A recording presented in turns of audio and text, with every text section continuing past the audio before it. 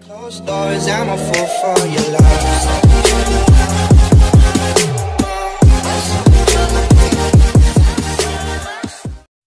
So, what up sa inyo? It's boy Philip na naman to. At ngayon ay nandito kayo dahil nakita niyo sa description box na paano nga ba lumaki yung katawan ko sa maikling panahon. So, it takes 40 to 50, to 50 days bago lumaki yung katawan ko at ah, lagi ho ako nag-gym dati. Dati pa, actually dati pa ako nag-gym pero ngayon ko lang ngayon lang ako natuto ng sobra. So ngayon ko lang in-apply kaya gumanda yung katawan ko at lumaki agad sa maikling panahon. So So, al- almost 2 years, pero tumitigas yung katawan ko, pero hindi lumalaki. So, ganun, kung nasa maling diet kayo, no?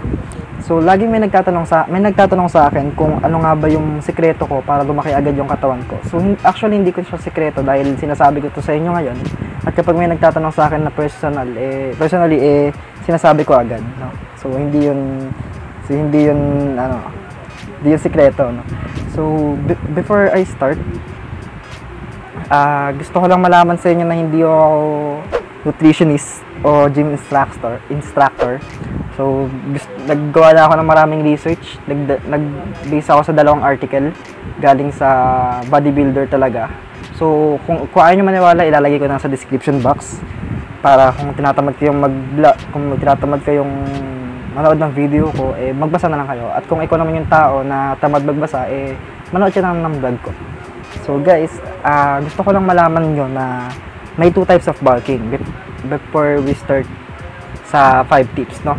May two types of bulking. So ang one is yung clean bulking. Clean bulking. So yung clean bulking ho guys is siya po yung ano, siya po yung siya po yung pinakamahirap gawin. Siya yung pinakamatagal gawin. It takes years. No? Ah, kasi kailangan kinakalkula muna natin yung kinakain natin. So hindi lang porket nakakita ka ng kikiam, ng kwek-kwek, eh kinakain agad natin. So yung clean bulking po ay galing sa mga masusustansyang pagkain tulad ng ah, mashed pot ng mm, sweet potato, rice, ah, mga mga prutas or pwede kang pumapak ng mga gulay galing kasi may fibers sila. So masyado makakapagpalaki ng katawan yung fibers.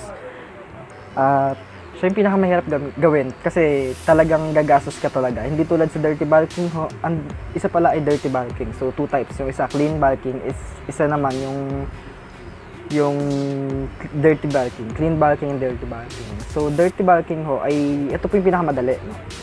Ah, bukod sa kain ka lang ng kain, lamon ka lang ng lamon, eh kailangan mong binubusog yung sarili mo. Walang oras na hindi ka busog, no. Ah, lagi ka dapat busog. So, kahit ano yung kainin mo, kwek-kwek, kikiam, basta yung alam mo makakapagpataba sa'yo, eh, kakainin mo. Yun yung, yung dirty bulking. So, ang ginawa ko with dirty bulking, so, ang kagandahan lang po sa clean bulking is lalaki ka, pero hindi ka, hindi tataba yung tiyan mo. So, ang dirty bulking ho, is, pero tataba ka agad-agad, pero lalaki din tiyan mo. Pero sa akin, hindi ko nang sasabing malaki yung tiyan ko, no? Flat lang, pero wala akong abs. So, let's start. Number one is, may 5 tips ako, no? So, number one is, reload day. Ano, so clean, kung clean bulking ka, so kumakain ka ng mga masustansyang pagkain. Mga masasarap na pag, mga, hindi lang masasarap, kundi mga walang lasa tuyo, tulad ng breast, ay, tulad ng, tama, breast.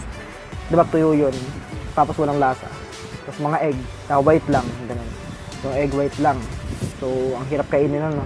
Pero yun yung kailangan natin gaw- gawin pag clean bulking tayo. No? More on protein and carbohydrates, more on complex carbohydrates. So, tinitingnan din natin yan. Hindi lang puro sugar. sugar. So, yun po. Ah, kung clean bulking ka, eh, meron ka dapat sa isang linggo, meron ka dapat one day na binubusog mo yung sarili mo sa dirty bulking. Dirty bulking. So, importante po yan para lumaki yung katawan natin agad, para bumagal po yung metabolism natin. So, need mo kumain minsan ng dirty foods para ma-stored yung maraming calories sa katawan natin and sa muscles natin. No? Second, second po natin is heavy workout on reload day. So, ang heavy workout on reload day po, so kung clean, clean bulking ka, kung, kung clean bulking ka, no, eh, kailangan mag-reload ka ng sa isang linggo, sa isang araw. Kailangan mo mag-reload. So, kung nag-reload ka ng isang araw, kunyari ngayon, nag-reload ka ngayon, tapos, marami kang kinain. Kailangan, pag marami kang kinain, mas mabigat din yung bubuhatin mo. no? hindi yung normal normal na buhay buhat mo is 70 pounds. Nag-reload day ka. Ganun pa rin. Dapat hindi. Dapat kung the more na mas heavy yung kinakain mo, the more na mas heavy din yung bubuhatin mo. So yun, para mas lumaki agad yung yung ano natin, yung muscles natin, no? Para ma-stored sa, ma- sa muscles natin yung mga kinakain natin. Kasi kung mahihiga ka lang at matutulog ka, tapos nag-heavy heavy meal ka ng dirty foods, eh, huwag ka nang kumain at huwag ka nang mag-workout dahil niloloko mo lang po yung sarili natin, sarili mo, no? At, at kung kakain ka ng heavy at dirty foods, eh, tapos puro ang gagawin mo lang eh abs, tapos bicep, tapos tricep, eh huwag ka na ho rin mag-gym, no? Tigilan nyo na po yan, dahil puro kalokohan lang po ang gagawin nyo. Ang gawin nyo po ay kung magde-dirty, magde-dirty foods po kayo sa isang araw, eh gawin nyo po na mas maganda. Tamaan nyo po yung mga major parts tulad ng back, legs, shoulder, shoulder tapos yung chest. So yun po yung mga dapat na tinatamaan lang natin. So hindi lang po dirty bulking, tapos mag-abs. Kasi walang mangyayari doon, no? Babagal lang yung ano, yung babagal lang po yung tawag ito yung process ng paglaki natin so hindi porket na gaano tayo hindi porket na abs tayo eh nagpapa-abs na tayo depende pa rin sa kinakain natin hindi lang dapat tayo maasa sa workout umaasa din tayo sa pagkain so magkaiba yung nagpapalabas sa nagpapalakas ka ng abs no number 3 is eat to 6 to 7 days ay eat to eat 6 to 7 meals a day. No, yun po yung pinakamahirap kasi kailangan mong lumamon ng lumamon. So, ang personal experience ko dito guys is uh, 7 times ako kumakain. So, naki, alam niyo yung tigta 30 pesos na gulay or yung tigta 30 pesos na manok na ulam sa mga kalendarya. Ginagawa ko po yun na 3 to 4 meals. Hinahati-hati ko po yun. So, tinitipid ko yung ulam. Mas dinadamihan ko yung carbohydrates. So, ngayon, sa isang meal ko, ginagawa ko 1 rice lang para hindi ako mabusog. Pero kung kulang pa sa inyo yung one rice, eh, edi magdagdag kayo. Nasa sa inyo naman yan. Basta makakain kayo every 3 hours. Kakain kayo ng every 3 hours. So, yun yung pinakamahirap. Kung baga sa ito po yung pinaka-effective. Ito po yung mas ginawa ko, no? Pinagtuunan ko ng pansin kasi sa mag-gym. So, uh, kailangan, kailangan hindi yung, ano, kailangan balance, no? Mas maganda, sa mga bodybuilder ho dyan, eh, yun po yung mga ginagawa nila sa ibang bansa. Kumbaga, matutulog sila, gigisingin pa sila ng mga chef nila or cook nila para kumain. So, kaya nakakapagod talagang kumain. So, number 4, guys, eh, bibilisan ko na lang.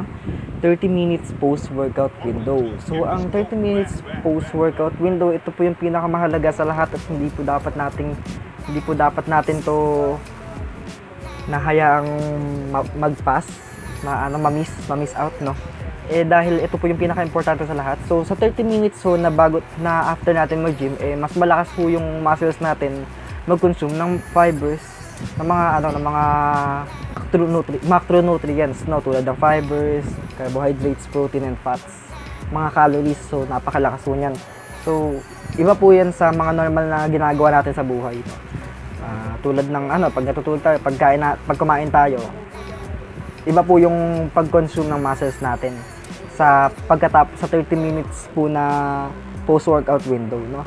So, yung 30 minutes na yun is napaka makapangyarihan nun. Kailangan pagkatapos natin mag-workout, eh kumain agad tayo, no? Huwag na nating hayaan na mawala yun. So, number 5 is be consistent, no? Kapag ka, hindi porket hindi porket hindi ka lumalaki ngayon, eh hindi ka nalalaki habang buhay baka may mali lang sa ginagawa mo. Kaya huwag kang mag, ma, ano, ma, mawawala ng motivasyon sa buhay. Dahil once na ginawa mo at inumpisahan mo, eh tapusin mo na. Ano? Hindi lang isang linggo ka lang magbubuhat, eh titigil ka na. Hindi lang isang linggo ka lang mag-abs, eh titigil ka na kapag walang nangyari. Dapat consistent. Hindi naman tayo lalaki kung hindi tayo consistent. No? Lalo na sa mga payat, guys uh, mas maganda kung payat kung payat na payat ka, mas maganda sa iyo kung dirty bulking ka muna. Kung medyo mataba naman yung chan mo, tapos medyo mataba ka naman tingnan, eh mag clean bulking ka na lang, mas effective pa, no? Hindi ayan. So, ang importante dito guys is hindi maganda yung 3 hours tayo magbubuhat sa gym. Kailangan hour and 30 minutes, ganun. Mga ganun lang, to 2 hours. Huwag na tayong lalagpasan na sa 2 hours or 1 hour and 30 minutes. No? Kasi yun po yung pinaka-importante, yung pahinga natin, no? yung rest. Tapos, at least 3 to 4 days tayo mag ano, magpapahinga. So, kumbaga, MWF or 4 day, four times a week tayo mag-workout. Basta importante, basta hindi bababa sa tatlo or apat yung mga pahinga natin sa araw. So, importante din yung rest kasi pagka nag-recover yung muscle natin, eh, magbubukahan yan. Ngayon, ngayon, kapag ka pagod na pagod yung muscles natin, hindi sila bubukas. Mga patay lang sila, mga durog na durog lang sila. So ngayon, pag nagpahinga tayo, magpapahinga din yung muscles natin. So, o-open yung mga muscle fibers niyan. O-open yung mga muscle fibers niyan. Pag umopen yung muscle fibers niyan at kumain tayo, doon papasok yung mga carbohydrates and nutrients na kinakain natin. No? So, yun po yung ano, yun po yung maganda, ano. Tapos, wag din tayo magka-cardio. Wag din tayo, kung ikaw ay mahilig mag-basketball, mag-volleyball, mag-tumakbo, wag ko tayo magaganon, mag-abs. Wag, ko wag na ikaw mag-abs kung magbabalking ka, no? So, ayun guys. Ah, wag din wag kayo mag-abs kapag ka magbabalking kasi ah, ano, hihina yung ano nyo, hihina yung process ng paglaki nyo. So, sa akin kasi, ah, 50, 55 ako dati, 55. Ngayon eh, nag-ano ako 68, nag-68 ako nung nakaraan. Ngayon, hindi na ako masyado malaki kasi puro tulog at kain lang ang ginagawa ko, minsan puyat pa. Kaya, mabagal talaga yung paglaki ko. Tsaka medyo pumayat ako, tsaka medyo umano lang. Hindi na masyadong lumaki. Yan, di ba? Konti lang yung laki. Pero sa inyo guys, kung wala naman dapat wala dapat makaha, makaharang sa inyo. Wala dapat ah wala dapat borders, ganun. Kumbaga, kung gusto nyo, eh, gagawin nyo yung lahat. Kumbaga, sa babae, kung gusto nyo yung babae, gagawin nyo lahat para makuha siya. Makuha yung loob niya. Diba? Kaya sa atin, huwag kayong mahiya, guys. Huwag kayong, huwag kayong matakot mag-take risk, ganun. Kasi, yung katawan natin yung lagi nating sinusuot sa buhay natin. So, wag din kay wag kayong mapapagod kung nagsa-sacrifice na kayo para sa katawan nyo. Kasi lagi natin sinusuot to. Ito yung pinaka mag, pinaka um, sinusuot natin sa araw-araw. At hindi na natin maaalis to. So guys, meron ako meron akong mga ano, meron akong mga supplements dito na ginagawa. May mga tanong, may mga tanong na may mga pilos- filosofiya na kapag ka tinigil daw natin yung mass or whey or supplements na iniinom natin, eh liliit tayo. So hindi po totoo 'yan. Totoo sa ah, totoo, totoo siya. Kasi sobrang dami ng ano eh, sobrang dami niyang carbohydrates. Ah, kumbaga, kung marami siyang carbohydrates, tapos bigla mong tinigil, syempre, mawawala siya. Kunyari, ikaw, 7 times a day ka kumain, tapos bigla mong tinigilan, bigla mong nagdalawang araw na meal ka na lang, eh talagang liliit ka nun. So, ganun din po yun sa pag-inom ng supplements, no? Kapag ka tinigilan mo, eh liliit ka. Pero depende yun kung paano mo gagamitin yung pagkain mo, no? So, lahat nasa pagkain lang po. Hindi po porket nag, di ka nag-gym, eh liliit ka na. Ibig sabihin lang po nun, eh, eh, nagpapahinga lang yung muscles mo. Ganon. Pero kapag ka nag-gym ulit kayo, eh, lalaki agad ulit. So guys, kung nasiyahan kayo sa pinanood yung video at kung gusto niyo sa mga gantong video, eh wag po kayo mahiyang mag-subscribe. Pinutin niyo na lang po yung notification bell para aware kayo sa susunod kong video. Ah, mag-like na rin kayo at mag-comment for more suggestion sa susunod kong vlog. Mag-comment na lang din kayo kung meron kayong katanungan at kung kaya i-chat nyo ako kung may tanong kayo. Pwede kong i-vlog yan. Closed doors, I'm a fool for your love.